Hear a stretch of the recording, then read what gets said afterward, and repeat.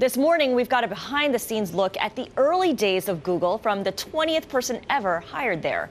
Google Vice President Marissa Mayer spoke last night at a Q&A session at New York's 92nd Street Y with Bloomberg Businessweek editor Josh Tyrangiel. She talked about trying to stop an idea that ended up making Google a fortune. Listen in.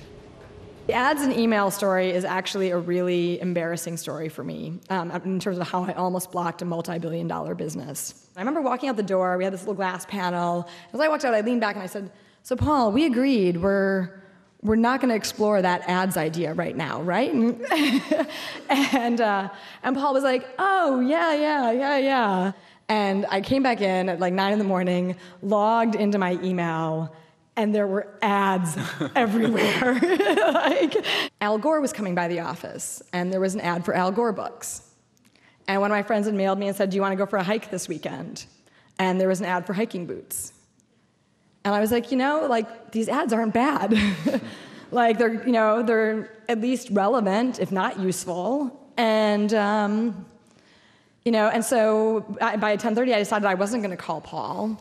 Um, and Larry and Sergey came in, and then this interesting thing happened where, and it's sort of interesting in terms of history because people get confused, is we were building Gmail, and I do think that whether or not targeting ads at email is still an open question, is still an open issue of debate between Paul and I. I mean, that's how we, we do it. But what happened that night was Paul basically figured out how to target our text ads that have been running alongside of search at content, which traditionally on the web, about 5% of page views that are done every day are searches. So if you walk into like a cyber cafe or a classroom, about one in 20 screens will have a search page up.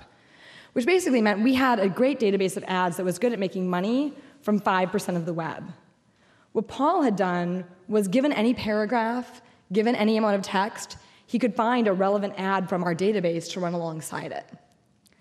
And so it basically was a way of taking our ads database and saying, we're not just going to put these ads on Google search, we're going to put these ads out on the web. So today, when you see those blocks of textual ads that say ads by Google on the bottom, that's something called AdSense. And it was actually born that night.